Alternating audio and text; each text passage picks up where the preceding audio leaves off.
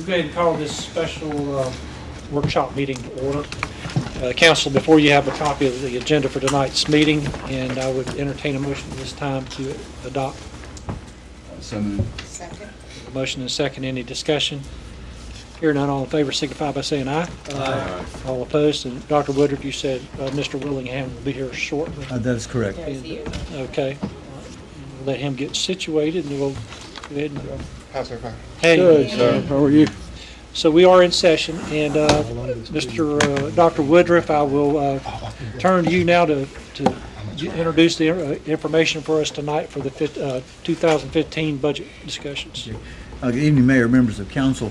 Last week, we met to begin the budget discussions, and you'll recall that our process is that at each meeting, if there are items that you ask us to follow up on, we do follow those up. I believe that it was Thursday of last week, you received 10 budget notes that actually showed you a specific request you had made and the responses to those. Uh, First thing I would ask is, as you look at those uh, 10 items and their responses, were there any that you wanted additional information on, or are you comfortable with those responses? Council? I I would have, I do have a question. I'm sorry, Bob. No, you, go ahead. Um, on the, uh, on the fund balance, uh, where you show the unrestricted as five million and some, some dollars, can we have a breakdown of the restricted dollars and what that's for, We can certainly do that. please?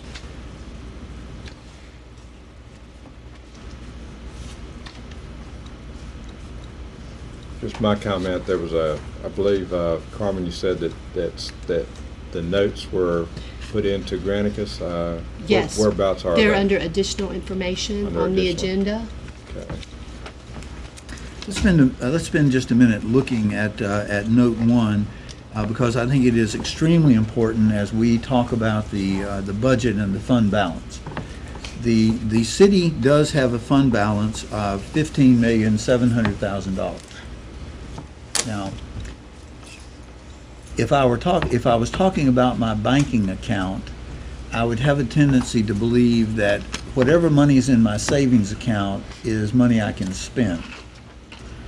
The fund balance gives the public the indication that that's what that means, when in fact that's not what it means.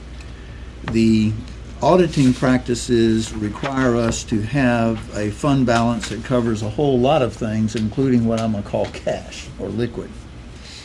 The answer that we provided y'all was that while the general fund balance is seven, is fifteen million, seven hundred fifty-eight thousand, two hundred forty-one dollars, the total is classified by the GASB, which is the Governmental Accounting Standards, into categories. They are non-spendable, restricted, assigned, and unassigned.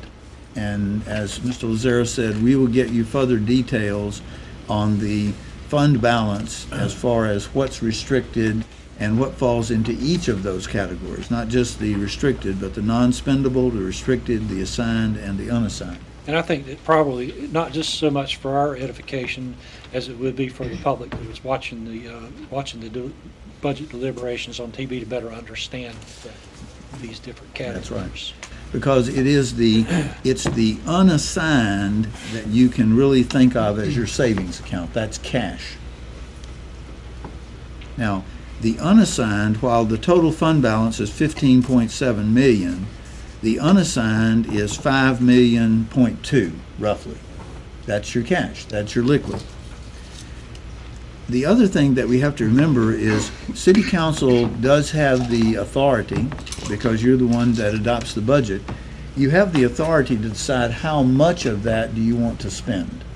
You could spend every penny of it, of the five point two million. On the other hand, you have a policy, it's not a law, it's not an accounting practice, it is your policy, that says that you want to keep in that in that liquid cash, in that unassigned balance, you want to keep ten percent. Ten percent of what? You want to keep a number that is generally equal to ten percent of your operating budget for the general fund. Why is that? Well, number one, it's your rainy day account. If for whatever reason the economy went south that ten percent generally represents one month of your overall operating funds. If something happened uh, in the way of a natural disaster, or, or, or, that's, that's why we have it. It is not restricted, you can spend it. But you have set a policy that says, we want to keep that unassigned cash in the bank of ten percent. What is that? Well, if you look at the operating budget, and let me get to the actual page. If you look at page six in your proposed general fund budget, let's see how good you all are on this new system. The NC State folks got there first. Anybody else get there? Okay. Now, the proposed budget for this year is forty-six million dollars. So ten percent of that, you know, is four point six million. And what you'll notice in the budget note is that we're proposing that you should at least keep three point eight to four million. You know, in order to, to meet your, um, your potential budget needs. We are suggesting that you spend some of that cash, but not spend it down any further than three point eight to four million. I would also say to you that if you do spend that cash down to that point, we really can't go any, any further south. Can I interrupt you? Please. You're Looking at the fund balance here, and I may have, you may have explained this, and I may have missed it completely, but under 2014, it showed that the uh, fund balance uh, adopted budget was five million, two hundred twenty-eight thousand and change. Yes, that's And the page five. Let's see Yes, it's page, uh, actually, it's Page- page page eight on uh, this. eight, Page eight. page eight. No, it's page eight of this. And it page shows the five, amount yours. spent is four million dollars. Uh, We appropriated five point two million dollars towards the uh, budget last year out of fund balance. Yes, sir. If you will. Was that um, an include? I, I'm a little bit uh, mixed up here. I thought we were, had used money from the water and sewer fund balance. No. What will, what you, what you did in adopting the budget and in order to avoid a tax increase, what you said was that we would use water and sewer funds only if it became absolutely necessary, and we would bring that back to you. So And we didn't you- have to go into that. And fortunately, this year, we have not had to have any of that interfund transfer. Now, that was a very good suggestion that Mr. Thomas suggested last year that helped avoid a tax, a potential tax increase last year. Fortunately, we have not had to do that. I would also say to you that the four million dollars that we have in this, in this budget is not actually a real number. It is our best estimate that while you did balance the current budget, the 14 budget, with 5.2 million, our best estimate is the staff will spend about 4 million.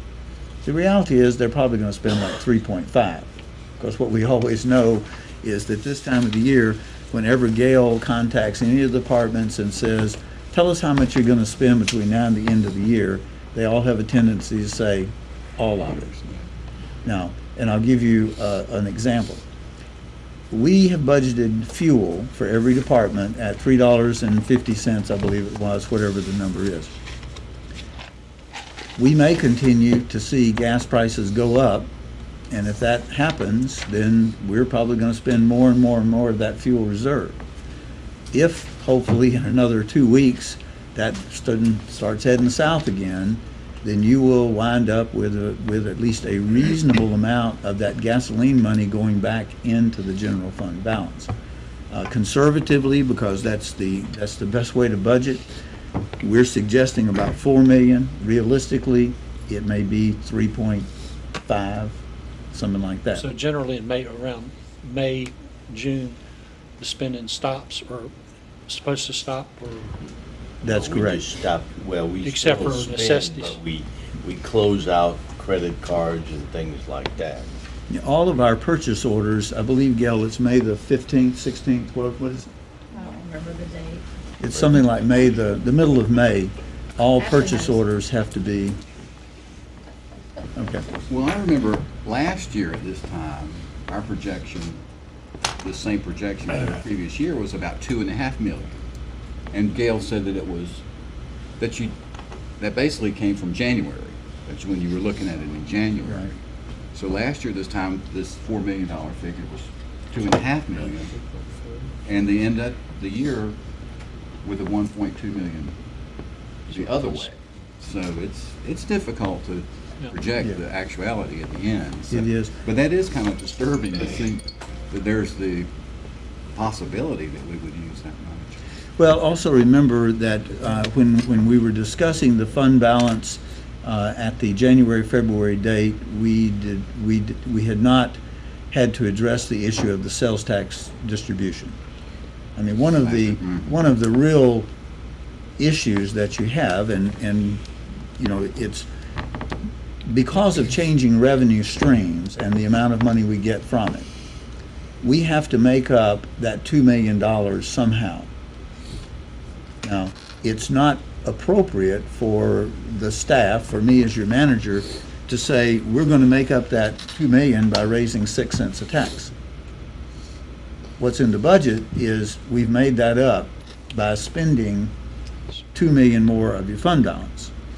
Now, in several weeks, when we get into, as we said last week, the real discussion, the real hard negotiations, y'all will have to decide how comfortable are you continuing to spend down your unassigned reserve, and how much of some of these deficits are you going to be willing to uh, say to the taxpayer, we need additional revenue? Well, I think that a lot of these red numbers over here in the additions to fund balance reflects our staff's ability to control costs or spending. Uh, You know, looking at different ways of doing things, we've consolidated, I mean, at your level, at staff level, uh, you've consolidated some jobs that have saved the city some money, so, you know, it's, I just would like to make sure that everybody knows that every effort is being made to try to conserve as much of the taxpayers' money as possible through, you know, overseeing the spending. Fund balance is going to be uh, one of those that uh, we certainly want you to continue to uh, ask questions about, and we will get you the details of, of each category and what's in there. So this budget proposes, what, five million dollars in fund balance? to be It, approved? it actually uh, More than we proposes. have. So what's the problem? Almost five point six. Know what government does? They just print some more money. I'm confused by the figures because normally That just about wipe us out. the, uh, should leave the minimum fund balance of thirty days, which is equal, thirty, a month, which is equal to eight point three percent. Yes, sir. Eight point three percent of budget would be three point eight million. Yes, sir. And that's what the note uh, pointed out is that, that the very least on, on page one of the response to note one, we said, Okay. therefore is estimated this unassigned balance cannot be lower than 3.8 to 4 Okay, I million. missed It's the- roughly missed the a- note. Just under ten percent. Just under 10%. Any other questions on any other notes? Because there's one other point that I, I want to make sure that we cover, and that's note number two, having to do with the privilege license. Um, You know, we've talked before, we talked last week about the fact that the state may be changing that. I'm afraid that the comments that I made last week may have given you the, the impression that the privilege license, that every privilege license would be hundred dollars. In rereading the law, what the law, what the, the study committee is proposing is that there would be a maximum of one hundred dollars. What that means is that if you took every business license to hundred dollars, then instead of having seven hundred and fifty thousand dollars, you'd have three hundred thousand, so you'd have to make up four hundred and fifty thousand loss. A better reading of the law gives the impression that they're saying you will still have a scale, but nothing on that scale will be higher than hundred dollars. So, for example, if you do have a scale, you could be looking at generating, as the note said, as little as $150,000 from privilege license, not the current 750, and that will leave us short something like 1.7 cents of tax or $600,000. So what is the legislature, what, what are, what are they saying, uh, to the effect that we'll be able to recover, uh, some business license money that we've not been getting in the past? Are they talking about the little house, uh, uh, home businesses and stuff like that? I mean, I, I don't, I didn't understand quite what they were talking about there. Well, what the, what they are saying in the committee is that every business would have to pay a fee and no one would be exempt. Now, the difficulty of that is, if I'm, if I'm gonna use the term, those are political words, and until you actually see how they plan to implement that. For example, uh, a lawyer currently does not pay a privilege license to the city, he pays it to the state. So their words don't really say, is a lawyer now going to pay it to the state and to the city? Is a dentist now going to pay it to the state and to the city? Is a car dealer that currently is capped at twenty-five dollars going to pay a hundred dollar fee? I mean, there, there are just a lot of, um, of uh, voids in the dialogue. The unfortunate part that's not a void is it appears that the state legislature, or the committee that's reporting out to the state legislature is, if you pardon the expression, bent, committed on revamping the business license, the privilege license. And again, what they are missing is the fact that this is not spare money for any city. And if you have that privilege license revenue go down, something has to go up or be cut. And I know it's easy for the taxpayer to say, we'll cut the budget. That's, that's very easily said. Are you, in cutting the budget, are you willing to see your response times for an emergency call go up to five minutes instead of three minutes? Well, if it's your next door neighbor who's having a heart attack, you may feel comfortable with that. If it's your wife or you who's having the, the heart attack, you may not be comfortable with that. And I don't say that flippantly, I'm just saying that those are the difficulties that you as the elected officials have to wrestle with is at the end of the day, you do have to face the taxpayer for both taxes and services. I have a question. Go ahead. Uh, Richard, will, will that decision be made for this budget cycle? I mean, I'm under the assumption that we would have a, a twelve-month. Uh, Yeah, my I mean, understanding. you're talking about the long session, and, and is this something that we should be wrestling in this budget session? I know it's something we need to discuss and certainly, you know, pay a lot of attention to, but in the grand scheme of the hurdles that we have to uh, jump over on this budget cycle is, I mean, I think that it, uh, to answer your question, my understanding is it could be adopted in the short session, but if it was, it would not be effective for one year.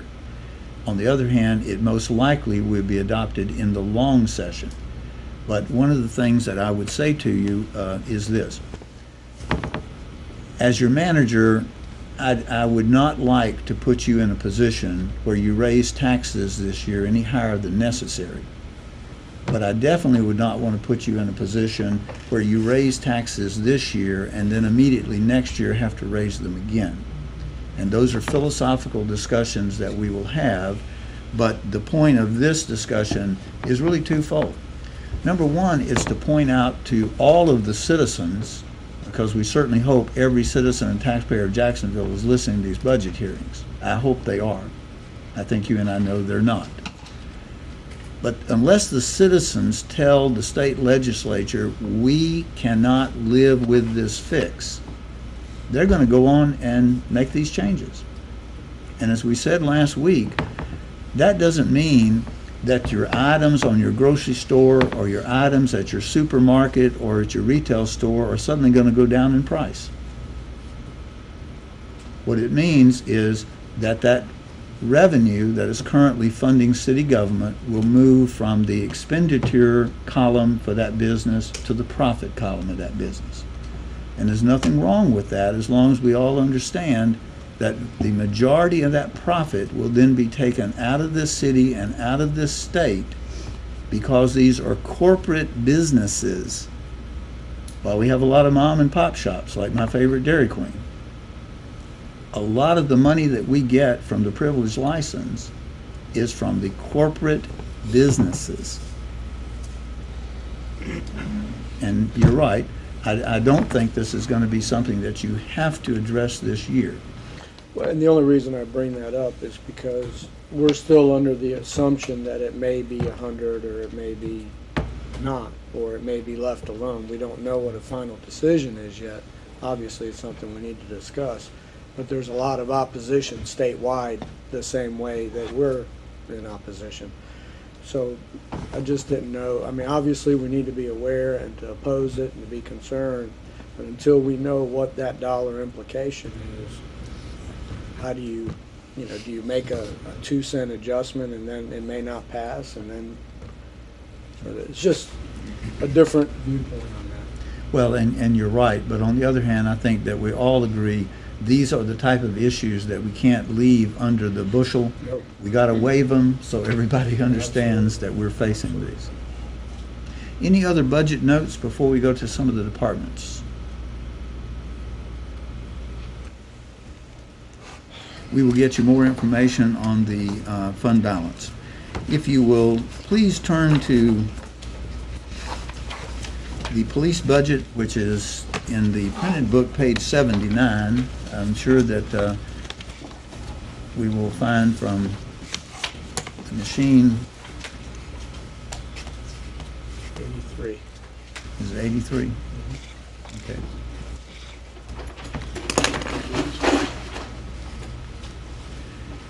As you're looking at that, you know, for the public's uh, purpose, last week, we did complete uh, the following items that were originally scheduled for this week. For April 22nd, we originally said we would handle finance, metering, fleet maintenance, and general fund. Y'all were kind to stay a little longer, and we completed those. This evening, we would like to cover public safety, and we'd like to cover recreation and parks, and if time permits, we would like to also cover development services. But we'll see how much time that we have. On Wednesday, the 7th, and I'd remind the public that because of Election Day, the city council meeting will be moved one day from Tuesday to Wednesday, but we anticipate getting into water and sewer. And then, of course, public hearings and potential adoptions in June. Let's look a second from a perspective standpoint. We've all talked, uh, at every meeting, you're going to see these perspectives. And one of the things that I think is important is to remember that we pay our tax bills once a year. We pay most of our other bills once a month. So we try to put these in terms of once a month. Tonight, you're going to begin by talking about the police and fire services. And I will tell you, there are very few cities in this state that have both an accredited police department and an accredited fire department. Why is that important to the citizen? Well, it's important because it gives you a nice sign you can put on the side of the truck, right? No. It's there because that accreditation proves to the taxpayers that we are running the police and fire department professionally. That they have proper training, that they have proper certifications, that all of the documentation is there to show that they're handling the crime cases and other things in the proper fashion. What do we protect? Well, the number one thing that we protect is life and property. And I thought it would be interesting to remind us all, uh, depending on how much your, your interest rate is, if you have a mortgage of $150,000, you roughly are paying $700 a month for your principal and interest, not your taxes, not your insurance, just your P and I. On the other hand, that $150,000 house is paying city taxes of $67 a month. And you know that in our budgeting, while it's certainly true that the general fund covers everything in a way, if you only said, what is my tax dollar paying for? You've seen before that the tax dollar only pays for the police department and almost all of the fire department.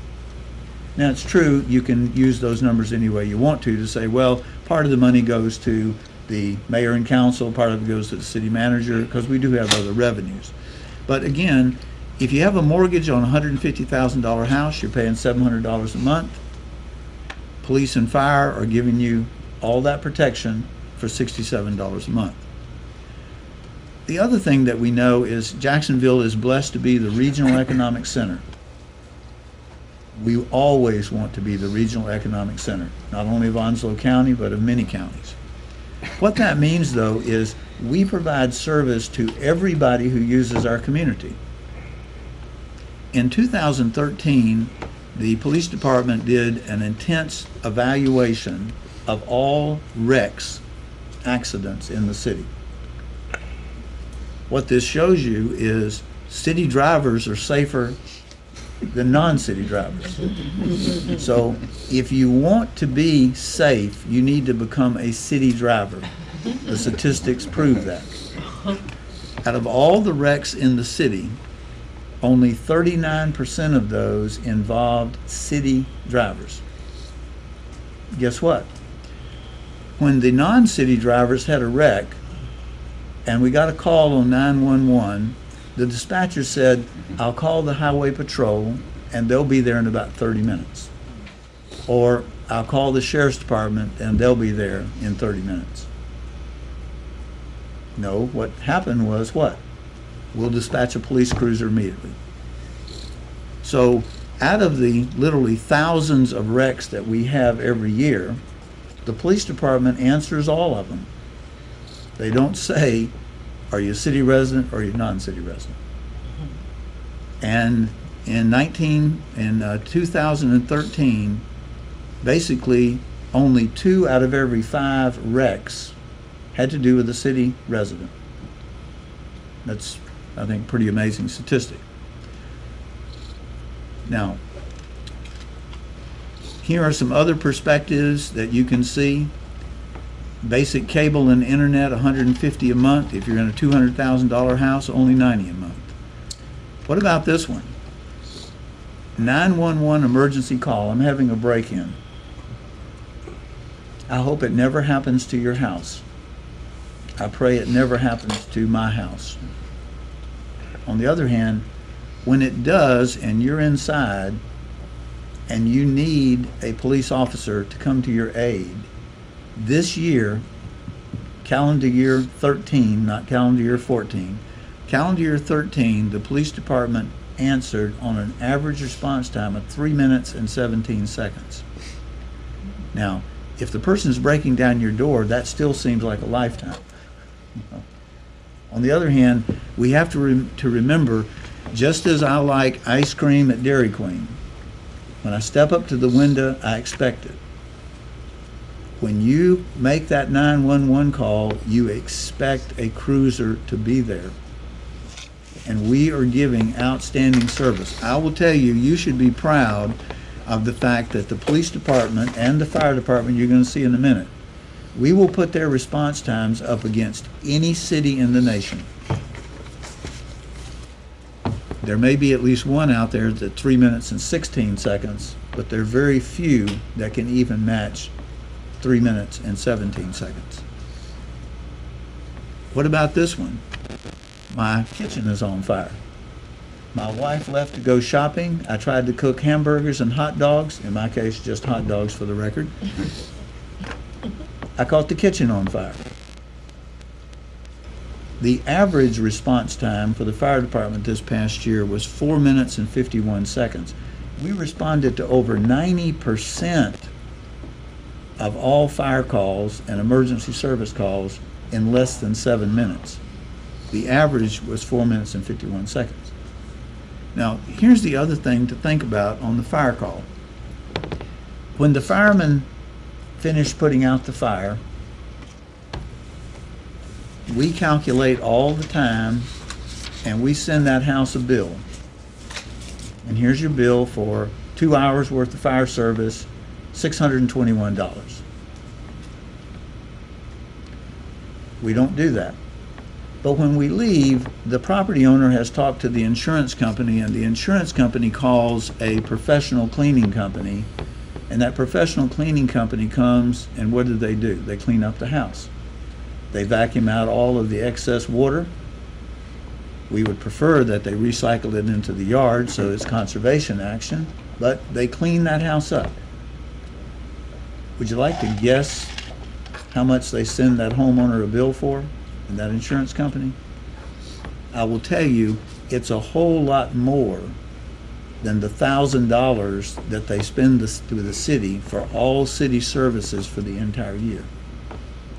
And again, all I'm trying to do here is remind us all how fortunate we are to have a quality city government. Two others, and then we'll get to the budget. We have 122 sworn officers. They responded to 35,550 calls for service. That's 911 calls. These are not calls where someone dialed in at the, at the uh, records number and said, you know, when you get a chance, I need to just talk to a policeman because of such and such. These are 911 calls. And for the fire department, 87 certified personnel, and in 13, they responded to 2,638 priority calls. Priority one calls, basically that's the majority, as you know, has to do with auto wrecks and a certain percent fires. With that, let's actually look at the budget. The budget for the police department is made up of fees, grants, debt service, and of course, the primary fund is the general fund. And you'll notice the overall budget is up by about seven hundred thousand dollars. We would remind you, if you will look on the budget notes and the comments, under police comments, the increase in salary and benefits are due to the addition of nine officers previously funded under grants, six under cops, two officers under the 2011 COPS grant, and one officer under the domestic violence grant. Now, you can read on. Uh, The other thing that has gone up in this budget is the fact that after many years of planning, we now are going to occupy the Center for Public Safety. And when you replace a roughly 30,000 square foot building with a 94,000 square foot building, your electricity just went up, your heating bills went up, your natural gas, all those things went up. So you're going to see an increase there. You'll also notice in budget note, comment number three, the increase in non-capital equipment and so forth are due to the addition of Power DMS software. I have no idea what that stands for. But the chief is here and he's going to tell you what Power DMS software is. Actually, that's an accreditation product, and what we're, what we're doing with that is Power DMS allows us to enter our policies and procedures in this, in this system, and it automatically tests officers and firefighters. So the Power DMS helps us maintain our accreditation. And it, it also reduces our liability because officers and firefighters now will be tested on their policies. So instead of having to, uh, basically what we do now is we'll read a policy at roll call or we'll, uh, we'll do a presentation on policy and procedures um, and give them a written test. Well, Power DMS allows us to actually track that. It also allows us to track changes in our policy. So we can see exactly when the policy was changed, when it was, uh, when it was affected, and we're going to put all the data from the accreditation process. Currently, we probably have 20 or 30 filing cabinets full of information. What we'll do is we'll go ahead and put that electronically, so it'll make it easier for us to track, track the accreditation process. It'll, it'll make it easier when we go to, to the accreditation process, when we have the assessors come. Everything will be electronic rather than paper files. Um, it just make it more effective when we, uh, as we enter that process. And this, even though the cost of it is in, uh, in the police budget, uh, we negotiated the price so it's both police and fire accreditation process. I'm glad to entertain any questions about that. Question. I'm, I'm sure there are some costs associated with us maintaining our accreditation. Some of which probably we would do anyhow without these desire to continue our accreditation. Uh, But have we ever researched the, to put a quantitative analysis in terms of our cost for accreditation? Are we getting any efficiency out of that that equates to savings? I think so, and I, and, and I can give an example. For example, we do, uh, we do a number of analyses each year. And those analyses include use of force, pursuits, bias-based policing, all those different things. And those analyses come to, come through the chain of command. For example, I think, I think about use of force the most. Um, we have actually looked at use of force. We looked at what we do, how we do it, what instrument they use, whether they used the baton, whether they used the taser, whether they used those things. And I think because of that process and how we developed that process, we have probably reduced liability in a number of cases.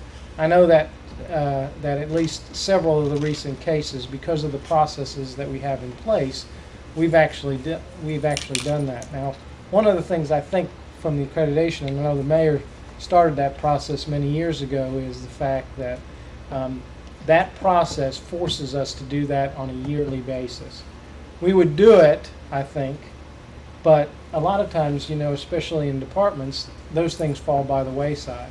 And having that independent review of that helps us helps us continue those analyses. Plus, those analyses change each year as the standards change.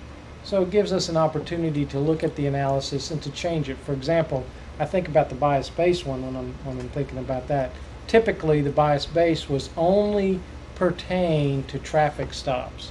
Well, one of the things that CALEA requires is now that we look at a number of different um, different processes that we do. The arrest process, for example, the field interview process, the asset forfeiture process, all those processes to ensure that we're being fair in those processes.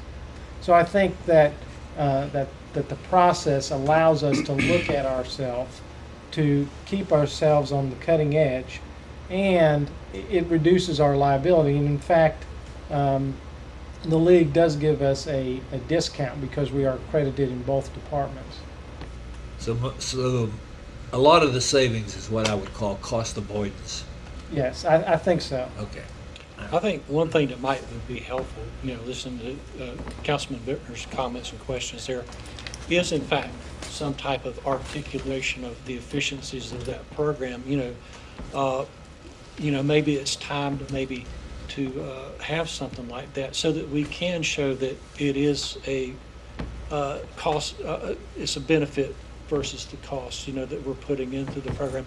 I know as well, you know, Chief, you and I both know that the program works well. It's brought us from point zero to point sixty up here in, in, in, over the years. You know, it took us from uh, traditional primitive methods of policing up to where we're at now. Uh, and it has been beneficial as far as, you know, maintaining the morale of the officers that work in the agency, the types of equipment that we use, our methods of operation, uh, our policies and procedures. By God, when we started doing the accreditation process in 1987, we had three written policies. That was it for the whole department. So, you know, there has been some good come from it. Uh, and, you know, like you mentioned, you know, some of the avoidance of cost has been there. But there, there's more than just that. I mean, there, there are things that you could actually articulate, I think, and I, I believe that might be a good idea is to, you know, have some type of art, articulation of the efficiencies. that Yeah, and I think in both departments we could do that because it, it helps us uh, from, I mean, just for example, the deployment studies that we do on a yearly basis, where we're deployed, how we're deploying, uh, what kinds of techniques we're using to deploy. I, I think that the crime mapping process that we went through when we transitioned from HTE to OSSI software gave us a different opportunity to focus on on problem areas much more effectively because that's one of the standards. One of the standards requires us to use crime mapping to help deploy officers in in problem locations. You know, and again, you know, don't mean to beat this to death, but, you know, a lot of times the typical layperson doesn't, doesn't understand all that it has created, and, you know, maybe that articulation would, would help. We will be happy to provide you additional information. Uh, You can see the other notes relative to the, um, to the police department's budget. One that I would also point out is note number five, the separation allowance. As you know, the state law relative to police retirement uh, does state that the city must pay a supplemental pay during the time that the person has reached the retirement age versus age 62. And every year that fluctuates because we have the number of people moving in and out and also their pay grades. Uh, This year, we are budgeting about $225,000 for that separation allowance, and that's fairly typical to what we budget every year for that separation allowance. Uh, General questions that you may have, I think your challenge here is again, uh, the fact that we've been fortunate to have the COPS grants, but now that those are over, and to actually fill the void, you're looking at almost two cents of property tax needed to cover that increase of six hundred, seven hundred thousand dollars.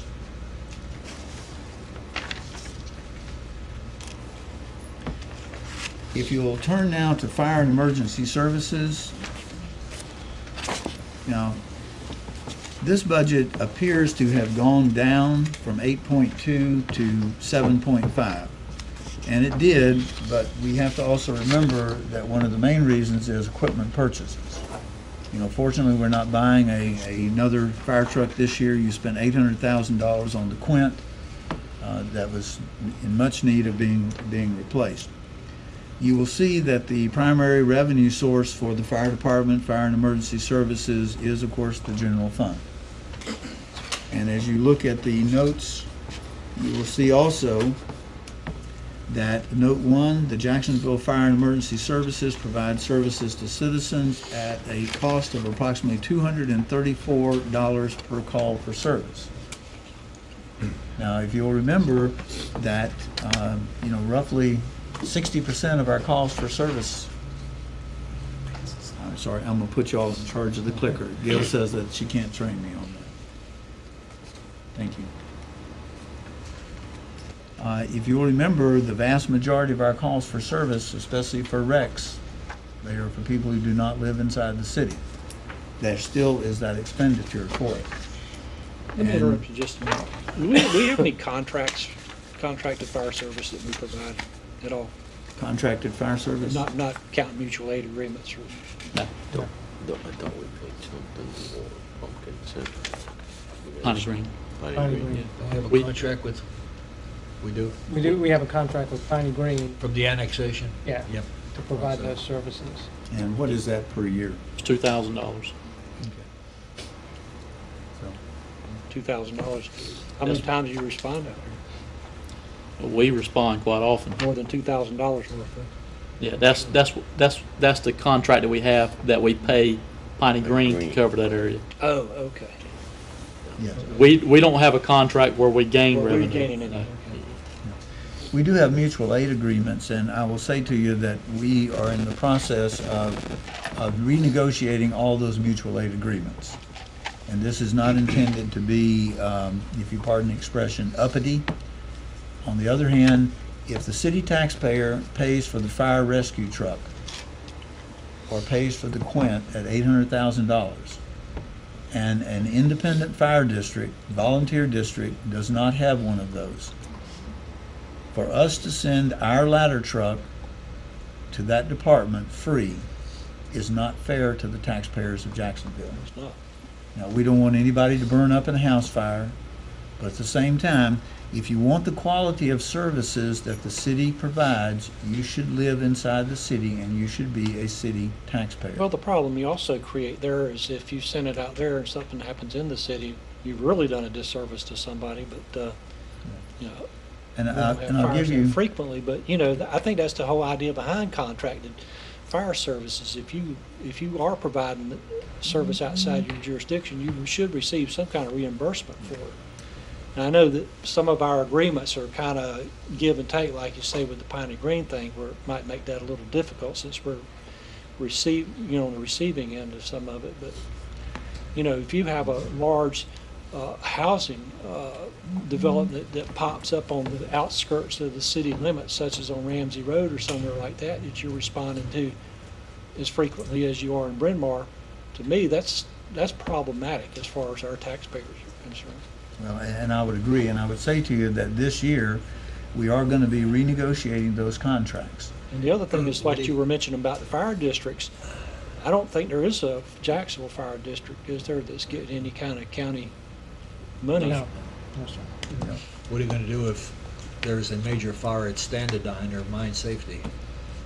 We don't sit on our hands, we're, we're the, we're probably gonna be the first responders there. Yes.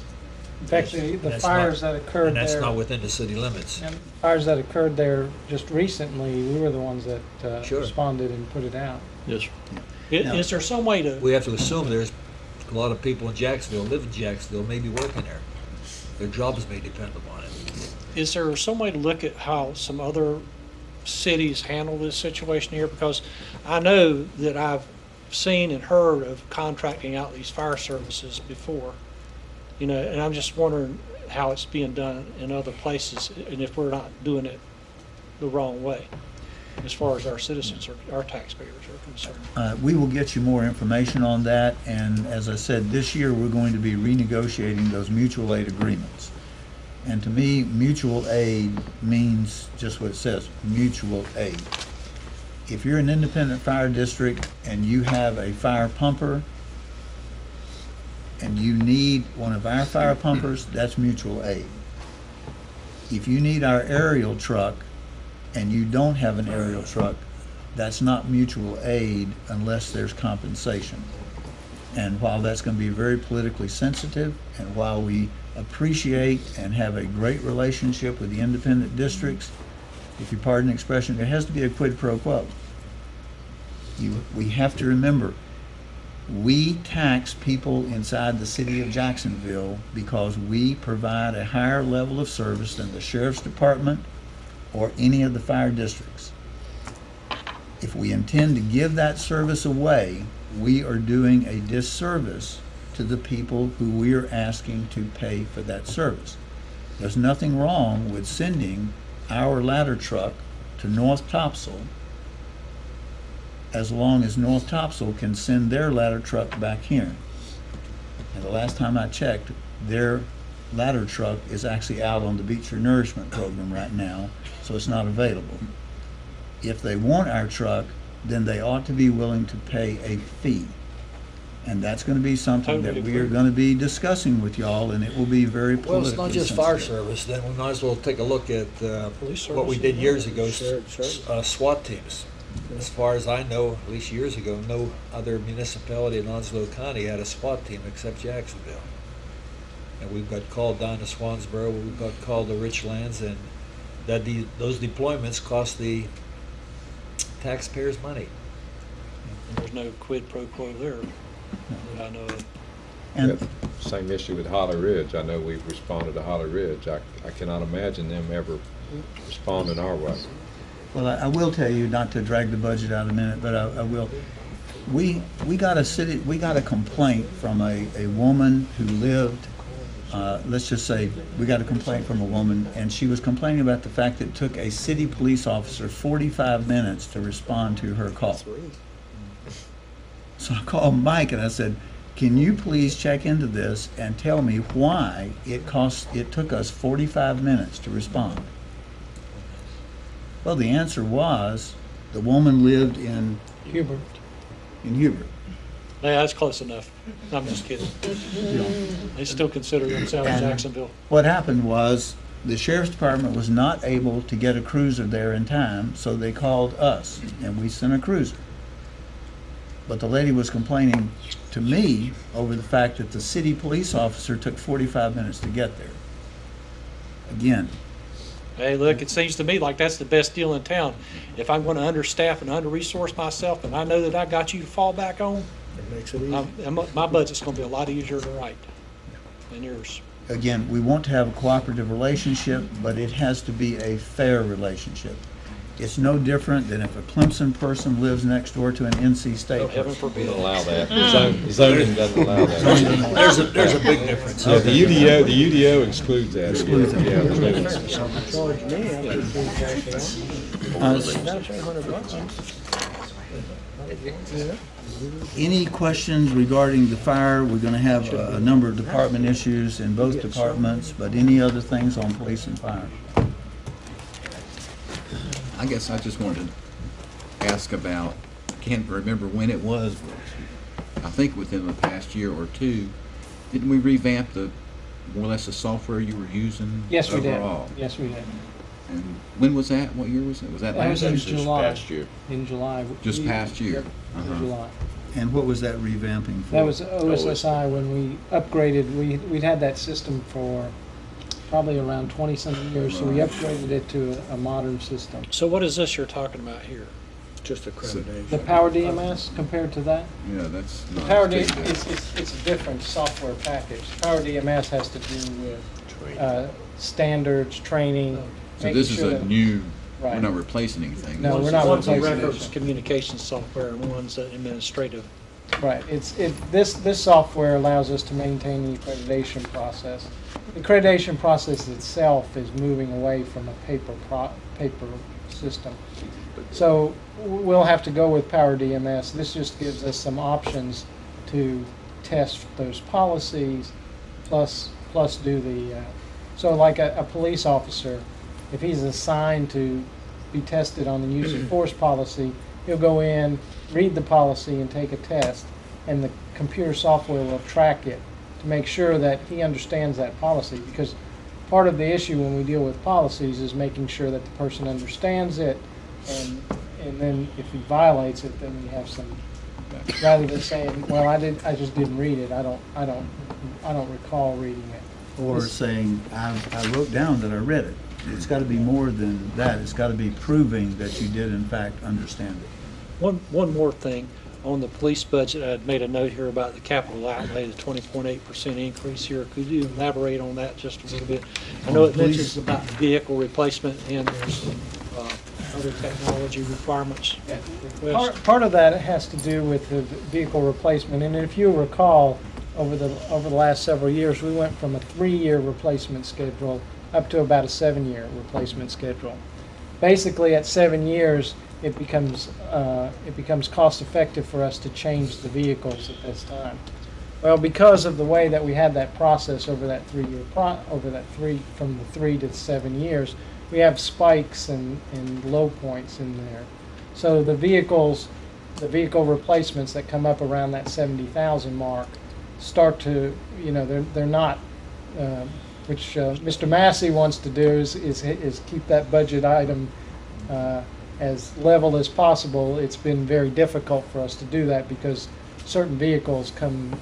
Now, we are working on a, a system where we're going to purchase vehicles at several different times a year, and, and, uh, and we think that that'll help us stretch the life of some of those vehicles while not um, increasing the repair costs. Because basically, at that 70,000 mile mark, the repairs cost us more than if we purchased a new vehicle and, and put it on debt service. Thank you. Any other questions on police and fire? You comfortable uh, going right into recreation and then taking a break? Let's do it. Okay. Anyone else okay with that?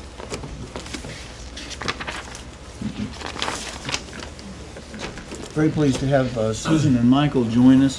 From a perspective standpoint, uh, let me give you a couple of, uh, of those having to do with recreation.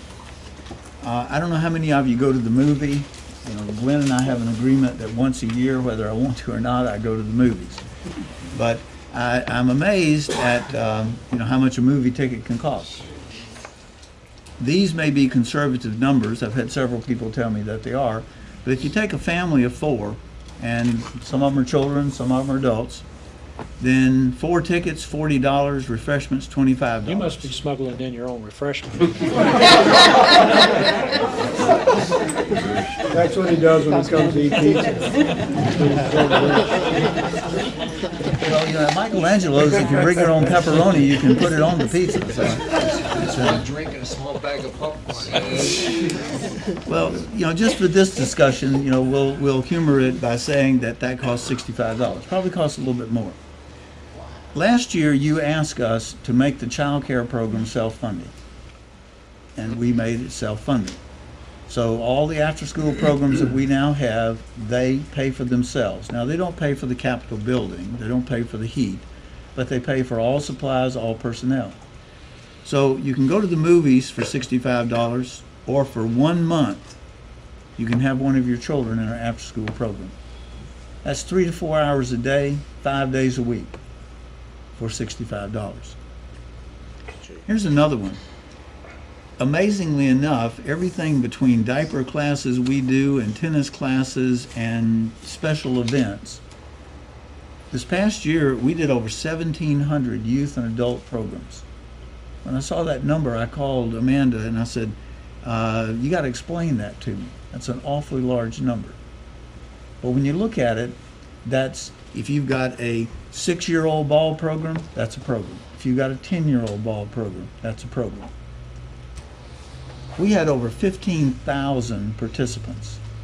Now, a participant, if you are in the soccer, if you're in the basketball program, you're a participant. And if that same child's in the baseball program, they're counted as a different participant. On the other hand, if you have 20 games in your season, you're only counted as one participant. You're not counted as 20 participants meaning 20 games. We're very pleased that we have a strong city representation. 75% of the people who participate in our programs are city residents. And you know we have a varied schedule so that if you're a non-city resident, whether you're a senior citizen or whether you are into sports or something else, there is an in-city and out-of-city rate. I thought you'd find that interesting, over 15,000 participants. Again, we mentioned the after-school program. We have six sites. We're going to have seven sites this coming year. Where did we get the extra site? Bell Fork Elementary School.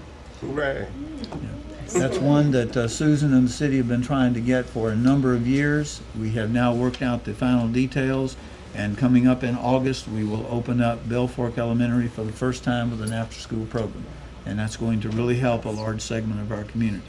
And again, full cost recovery. Another thing that we, I I had a question just recently, uh, why was the city spending money getting advertising billboards? And the answer is, the city's not. When you go around the city and you see the billboards that say we're having the Jacksonville Jamboree May the, Third, May the third, you know, come to the Commons, all of that money for those billboards is paid by the tourist development tax. The Recreation Department applied for a grant. They received a grant for the advertising. Why? Because by advertising throughout not just Jacksonville, but throughout the region, we're having people who will actually come here from out of town. They will buy gas, and with the three dollars left over in their budget, they may go out to eat at Michelangelo's and may even spend the night in a hotel. So we're eligible for the tourist grants. We have sponsorships where over fourteen thousand dollars. Now, let me talk about sponsorships a second. We made a managerial decision about a year and a half ago that we are not going to go to the local merchants and beg. I had a merchant tell me that every time a city employee walks through the door, it's either fire inspection, a building inspection, or somebody begging for money. And we said, we're out of that business. We are not gonna go around and ask, would you give this for the city employee picnic? Would you give that for whatever? We do have, though, large sponsorships for the major programs. And that does bring in fourteen thousand. You know that we've been very blessed that River of Life Church, over the years, they have donated annually. This past year, they made a decision that instead of buying things such as police vest, that what they would do is create a scholarship fund. So if you needed after-school care and you were low income, or if you needed your fee for playing in a rec league funded, you could apply for a scholarship. And we're very fortunate that they gave a ten thousand dollar scholarship. Whether they will do that again this year, that is their choice. The other thing is mowing revenue. Now, this is one that um, I have to admit, there is no, there is no cost balance here. Because you set as a priority better cleaning and better mowing, we did take over a tremendous amount of right-of-way from the DOT. They pay us fourteen thousand and change a year. It probably cost us seventy or eighty thousand to do what needs to be done, but I think you would agree that it's better to look like we look than to mow once a quarter and look like we used to look for fourteen thousand dollars. After school enrollment, you can see resident, non-resident information. Recreation and Parks budgets.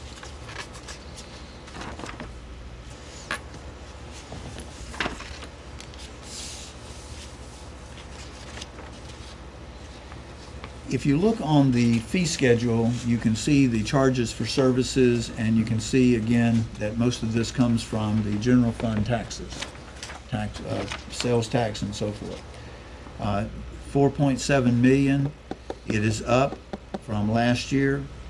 You will also notice that there is still $900,000 for the Lejeune Boulevard Trail final phase.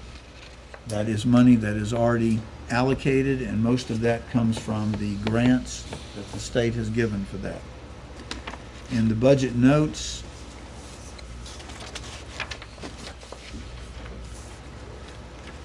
note number two, the costs are rising in large part to the increased areas of mowing that the Parks Division is required to mow. One of the things that you will see in your decision packages is an awful lot of decision packages, but let me tell you about some decision packages that you made that are built into the budget that caused it to go up. When you agreed that the Memorial Grove should be established and replace the Bradford pears that were down 24, the DOT came forward and gave us the grant to build and erect the Memorial Grove. They're very close to being finished. I hope if you are out on that side of town, you will take a chance to look at it. We have built into the base budget, though, the staff that it's gonna take to mow that. The, the DOT sodded the entire area, which is 14 acres. 14 acres. And certainly, it was never your intent for us to put in 273 cherry trees to honor the fallen, and for us to allow weeds and brush to grow up and hide it. So those type things. What's not in your base budget, though, are some of the discussions that certainly Mr. Bittner and I've had, and that is where the new bypass crosses 17. Are we gonna put in wildflowers there? Are we gonna put in cherry trees? Are we gonna put in Bradford pears? How are we going to maintain it? And those are some of the expenses, as you can look at the decision packages that we will get into in the weeks ahead, is now that this roadway system is finished, what do we want it to look like and how much money are we willing to put in to make it look that way? You talking about where 17 crosses, or the bypass crosses 17, talking about at the Parkway? Yes, sir, the Jacksonville Parkway. And then you have the same thing where the new uh, connection comes into, uh, where's Chick- Chick-fil-A? Huff Street. At Huff Street, there at the hospital. And then you have, you know, all of the areas, for example, Jacksonville Parkway itself. Uh, Do you want us to mow that once a week? Or do you want that to look like the DOT makes it look? I mean, those are discussions we have to have. And I recognize that, that we cannot bite off more than we can fund. But we have put together decision packages to show you what those costs would be if you wanted to go to that level on many of these new areas. One other area that we have been asked, uh, currently the city mows up to the entrance to Carolina Forest. And several of you and several businesses have asked, would the city take over mowing from that point all the way up Western to Gum Branch? Well, there, there is a cost to that. So I mean, these are things that we will need to be working on to discuss, but they're not, the only ones that are built in your base budget are those such as the Memorial Grove, where you've, you made that decision, we're gonna put the grove in, we need to maintain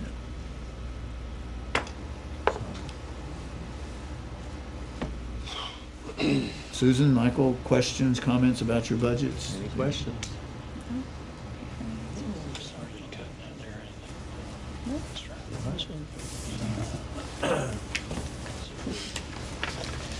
Just a, just a quick one, now that, now that you've stood up. Um, On the comments, uh, n- number, uh, number two, it talks about a decline in enrollment for 2013 compared to 2012. What are you anticipating for enrollment in 2014? Uh, Are you still, you factored that decline in, or what, what are you, or are you projecting an increase? What are you thinking? Actually, what we have projected so far is that we've kind of come back to the median. Uh, we did have a f- shortfall, but we have seen some increase. So it's not as far as, um, what it is this past year, but it's coming up a little bit, particularly in our adult programming where it did, the major drop-off was. So we're probably halfway back up. Was, it was the decline, you think, when we raised fees Yes, that sir. one year? Yes, sir. Well, On that note, could you go back a couple of slides then on the recreation? I think I can, let me see if I can make this work. Tell me when to stop. It was the one you kind of did right quick, very beginning.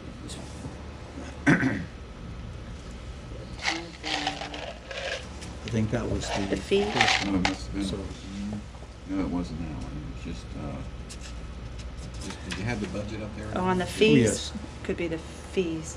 There. We have the revenue, Yeah, that was And then- probably the one right before that, because on our budget, Too um, bad we committed two of them we can use it. you had, where you had, um, it's on page ninety-one in here.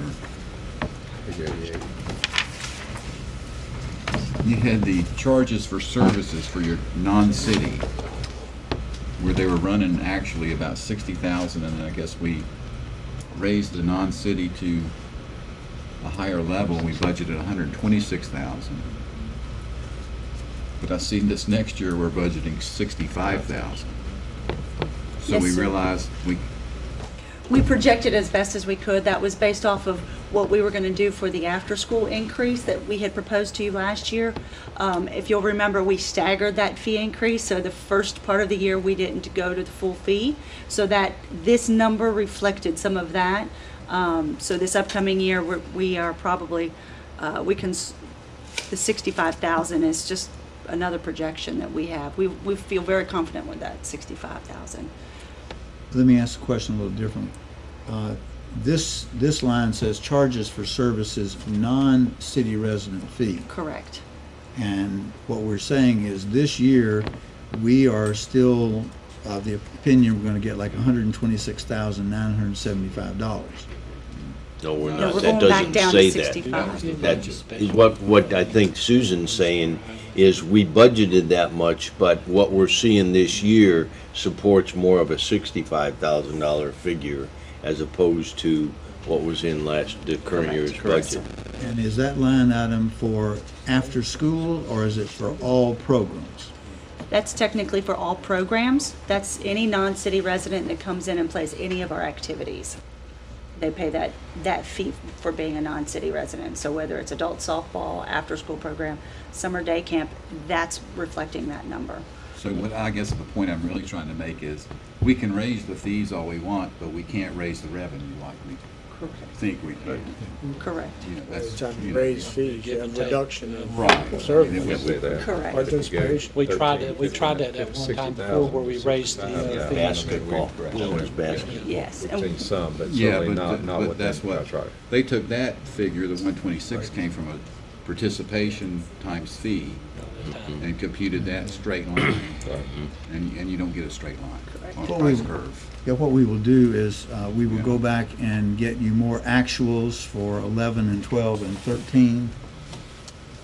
Because you are certainly correct, uh, you know, just because you think you can get it, doesn't mean you will. Are we good with the recreation and parks? Okay. You ready to take a break? Yes, sir, and then we'll come back and do just a few more and go to the Okay, let's take a recess.